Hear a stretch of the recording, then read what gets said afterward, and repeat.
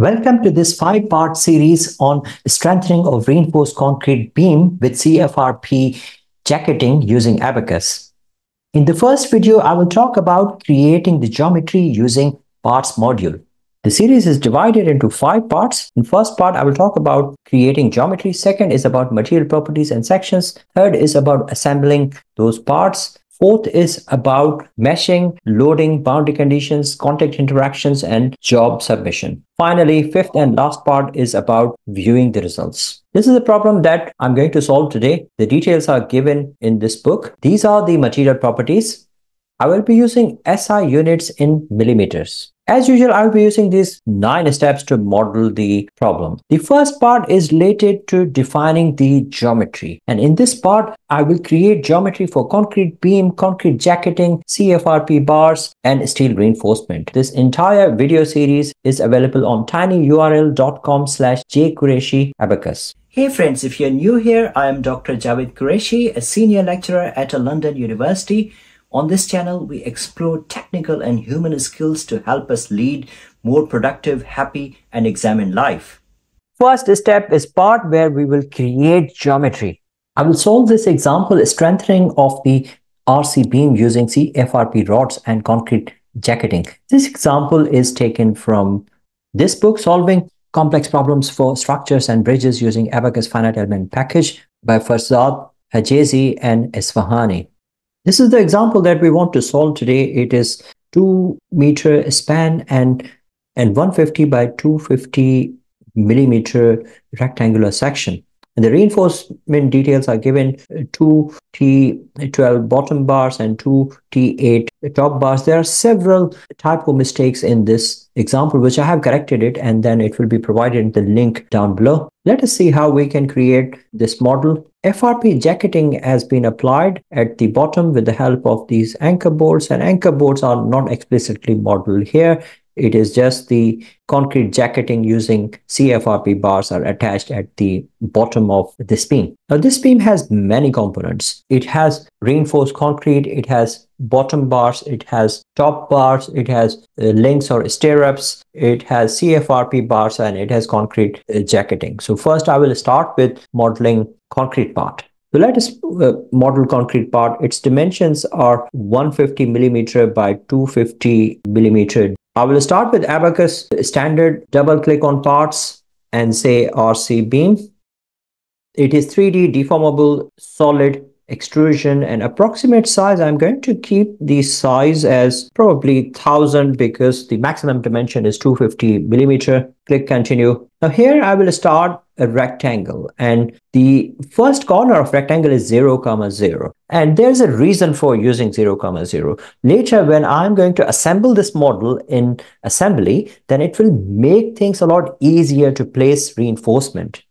So let us start with 0 comma 0 and the top dimension is horizontal is 150 the vertical is 250 so let's place these dimensions once we have done this then we can click on this icon to auto zoom. And just to confirm that these dimensions are correct i'm going to use dimension. Click on dimension 250 and click on the bottom dimension. It is 150 once the model is created, I will cancel the procedure and click done. And the depth of the section, because the entire beam is 2200 millimeters, so I will say 2200. And I will be using SI units in millimeters. Once we have done this, then at least one part is created. And again, there are several typos over here, 150 by 250, not 200. And once I've created this section, then I'm going to create datum planes at 100, 600, 1000, 100, 1600 and 2100. And there is a reason for that. When we are going to apply four point loading, we will need these points and I will show you in a diagram in a minute. Because the loading is applied in this way, 100 millimeter is left uh, from the right and 100 millimeter is left from the left side. This dimension is 500 millimeter and this is 500 millimeter and in between it leaves us 1000 millimeter. That is the reason I'm going to be partitioning this so that I can apply four point loading here. So let us create a datum plane offset from principal plane and we have to choose XY plane to create these datum points and then we will partition the section at these points. Click on create datum plane offset from principal plane and then I will choose here XY plane because I want datum plane to be created in X and Y plane which is this plane. XY plane. And first offset was 100 again next one repeat the process. Next one is 600 the following one is 1600 and then we have 2100 in this way i'm going to partition this beam at these points this first datum plane is for using the boundary conditions here supports. And this is for support as well. In between i have these two datum planes. These are the points where i'm going to apply loading over here. The next job is to partition beam at these positions.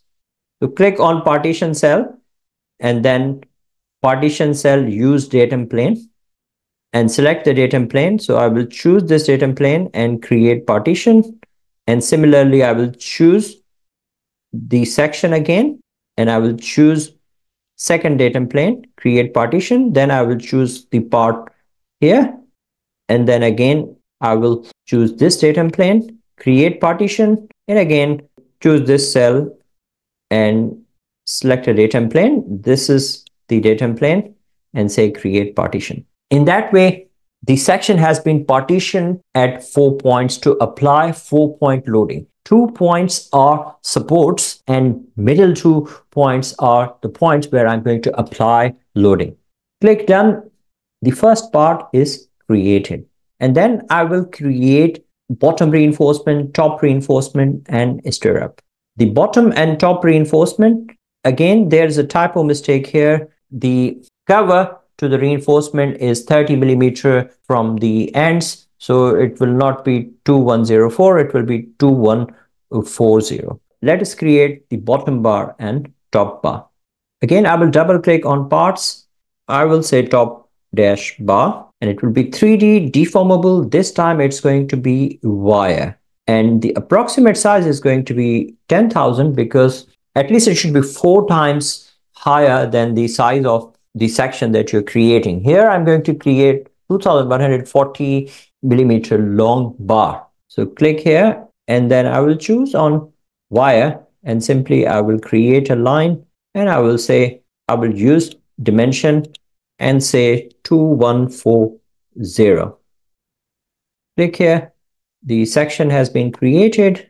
Click done. Bar has been created. And simply I will copy this bar as bottom bar as well. So we will have the same length of top and bottom bar. The only difference is that the bottom bar is T12, which means 12 millimeter dia high strength bar, and top bar is T8, which means 8 millimeter dia steel bar. Let us copy this over I will call it as bot bar. My next job is to plot CFRP bar and CFRP bar is 1900 millimeter long. So simply I will do the same thing. I will copy this bar over and I will say CFRP bar and click OK. Because the CFRP bar is shorter than top and bottom bars, I will simply go away and I will change the dimension here. Click here on edit dimension, click here and it is 1900. Simply I will apply it and cancel the procedure, click done. And here I have to regenerate the feature. If I don't regenerate the feature, then simply it's not going to work. Regenerate the feature, CFRP bar has been created as well. Now I have to create a stirrup. The dimension of a stirrup is 120 by 190. So let us create this stirrup.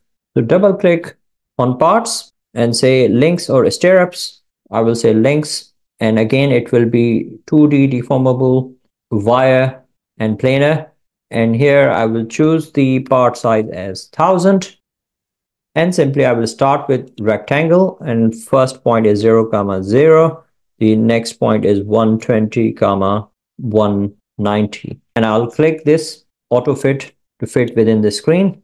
And then I will dimension it to double check if whatever I have created, it has the right dimensions. So click here and put the dimensions 190, click here and dimensions 120 and simply click done to create the part. The next job is to create concrete jacketing. The dimensions of concrete jacketing are that it is 150 millimeter wide. The width is similar to width of concrete beam and depth is 30 millimeter. So let us see how we can create concrete jacketing and its depth is going to be 2000. We will just provide it at the supports. We will not extend it beyond the supports. Double click on parts and say C jacket. I will create 3D deformable. This time I'm going to create a solid part and extrusion. The approximate dimension is 1000. Click continue and here I will pick rectangle again. The first dimension is 0 comma 0. The second dimension is 150 which is the horizontal one and the vertical dimension is 30. In that way I have created concrete jacketing part. Now I will dimension it so that I am sure that it has been created properly. Click here and then again add dimension 30, cancel the procedure and click done. The depth of concrete jacketing is 2000 millimeter because I'm just going to provide it inside the supports. The part has been created. I think I've created all the parts unless if I missed something. We are not done yet. In the next video, I will talk about creating material properties and assigning sections. Click this screen to come on over.